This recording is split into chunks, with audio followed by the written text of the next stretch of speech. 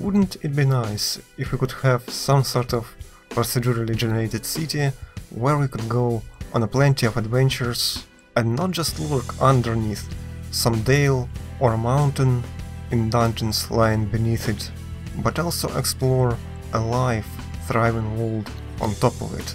Well, guess what? I already covered this little project by Marian42, but couple months later it got updated and now we have Wave Function Collapse 3D with this kind of glorious arches and actual interiors. So Marian42 initially created this project for a PROCJAM event and in that contest it was pretty interesting and I'm glad that it was not only limited to the contest but Marian actually continued to update it and now we have interiors and arches. And with the interiors we actually also have occlusion culling because uh, occlusion culling is very important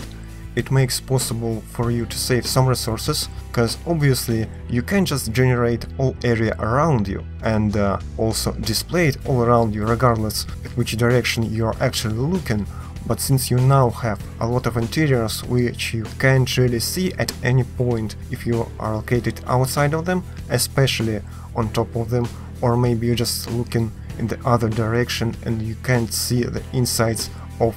this particular room, for example. That means that you can just stop rendering it and save a lot of resources by doing that. Since now a lot of these blocks underneath the city or inside the city actually have these interiors, yes, they are empty but they're different kind of empty and can be filled with things. So where we had void, now there is some life and volume to it and uh, the whole city got more alive, more sophisticated, and uh, it's making more sense. And I'm glad that it is a possibility. Now, if you haven't seen it before, it's not really random, so it's not just a bunch of slapped uh, blocks together, but uh, they follow the rules, how often you could generate one block or another, which blocks can intersect or combine with other blocks, so it wouldn't be a mess and uh, your bridge wouldn't just end with a flat wall right after it. And you could also have your flyover mode, which can be activated by pressing M on keyboard. Then you can press it again to return to the usual mode and enjoy it on the ground and over the ground. As you can see from this perspective, it is only more glorious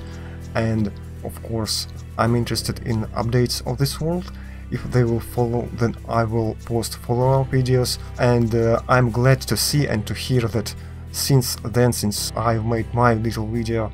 a lot of people covered this project even some major or major-ish gaming media on the web covered it as well, so I'm glad that uh, Marian got uh, well-deserved attention to the project. I will link Marian's Twitter profile in the description of this video, I will also link the source code on the GitHub page and the binary build on each IO platform, so you could uh, check it out yourself. This was Last of Avari, if you have some thoughts or your opinion on this video and on this wave function collapse project, feel free to share it in the comment section down below. If you like the video, you know what to do. Sharing it on the social media always helps. Thank you for watching and I will see you most certainly later.